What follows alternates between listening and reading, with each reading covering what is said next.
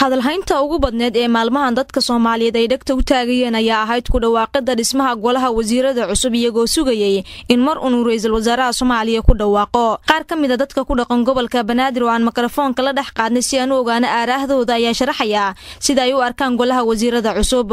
Waxaan leenahay waa in la aaminaa ummadda soomaaliyeed waa inay aamintaa. Shisheeye yuusan kicin dadka been ka sheegin waa dawlad cadaalada hab xaqaa lagu dhisay soo jiritaan soo dhici jiray oo baaba ay ka dagaalamayaan ha la oggolaado ha la aqbalo dawladda la dhisay ha la oggolaado. Saasaan ku talinaya cimrigaygu waa toddobaatan jir. Anigoo ah jawaahir baarqab ahna guddoomiyaha haweenka gobolka banaadir. Inaan ra'yigayga ku cabbiro magacaabistii golaha wasiirada runtiina aan soo dhoweeyo go'aanka ra'iisul wasaaraha iyo madaxweynaha ay qaateen kulana hadlo. Golaha baarlamaanka iyo shacabka soomaaliyeed. Waa muhiim in dalka uu ka baxo mugdiga. Waa muhiim in dadka iyo dalka wax loo qabto. Laakiin waxaa la rabaa in ummadda loo cadaalad falo.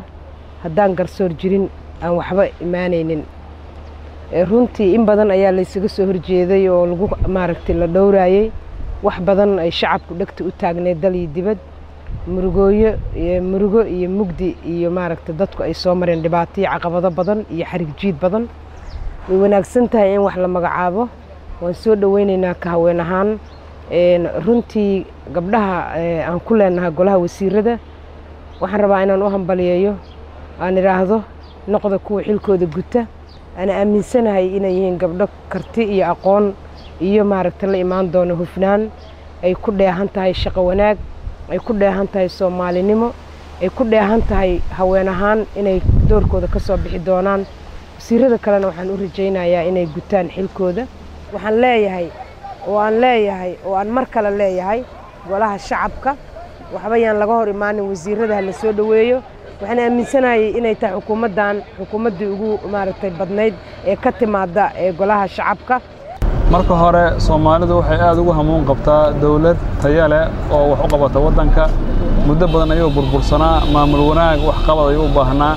Waxaan ka rajaynaynaa inay buuxiyaan kaalintaas oo waxaa yeelay xadiis baa wuxuu ahaa dannuu bilmu'miniina khayran. Macnaha waxaan u rajaystaa mu'miniinta khayr. Ayagana waxaan u rajaynaynaa inay noqdaan kuwa hanta maamulka iyo soo celida ummadda soomaaliyeed nabad iyo barwaaqo horseeda. Golaha wasiirada la magacaabay aad iyo aad haddaan haweenka soomaaliyeed aan nahay aadaan ugu faraxsannahay boqolkiiba boqol waana ku qanacsannahay gabadheenna waa soo dhowaynaynaa khadiijo maxamed diiriye golaha wasiirada waxaan ugu baaqi lahayn kuwii dalkoodii iyo diintoodii iyo dadkooda oo difaacday inay noqdaan.